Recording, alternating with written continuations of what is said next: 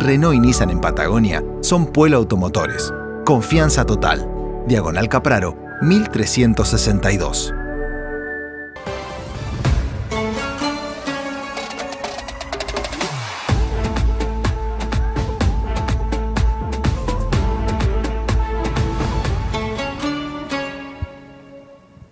Y ahí estamos, ¿eh? Qué fin de semana. Qué partidazo. Qué duro que se puso, qué duro que se puso. Esos siete últimos minutos fueron una locura.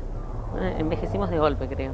Bueno, bueno, y estuvimos festejando, que eso fue lo importante, ¿no es cierto? En el centro cívico, gran fiesta, gran, increíble para hacer un partido de octavos, la cantidad de gente en las calles de la ciudad, ¿no?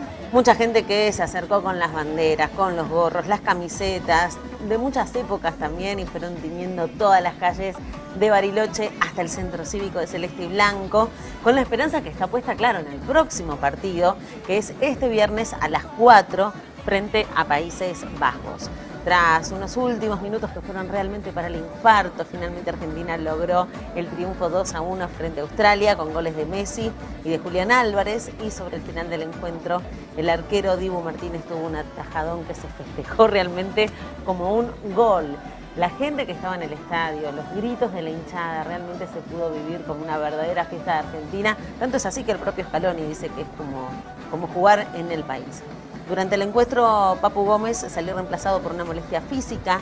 Ahora se aguarda conocer la evolución de una posible lesión. Y por otro lado, el cuerpo técnico que comanda Scaloni también podría contar con Ángel Di María, quien estuvo ausente ante Australia.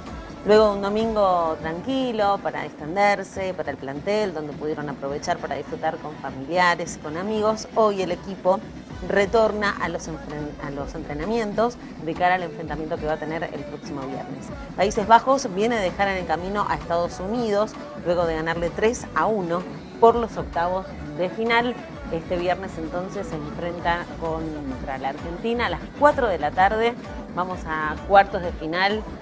¿Qué partido vamos a, también, a tener también este viernes? Sí, ¿no? con, Son- frente a, a Netherlands. Exacto. Para no decir ni Holanda ni Países Bajos. A Netherlands. Eh, y a- a- finalizó hace unos minutos Japón-Croacia. Lamentablemente Japón quedó en el camino. Bueno, digo lamentablemente porque uno simpatizaba con lo que habían hecho, ¿no? Que habían Buen dejado de lado a Alemania. Claro. y entonces estaba bueno que siguieran. Pero claro, Croacia, acá hay muchos croatas, muchos Ujú. descendientes de croatas. Pasaron por penales, alargue 120 y este, después en los penales 3 a 1. ¿Mm? Así que así la vida.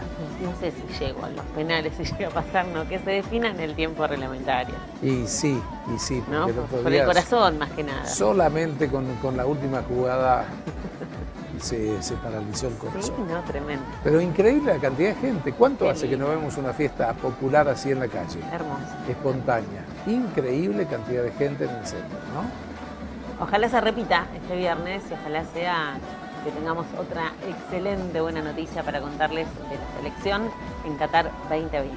Bien, y que no haya mucho viento, así puede estar la pantalla. Claro,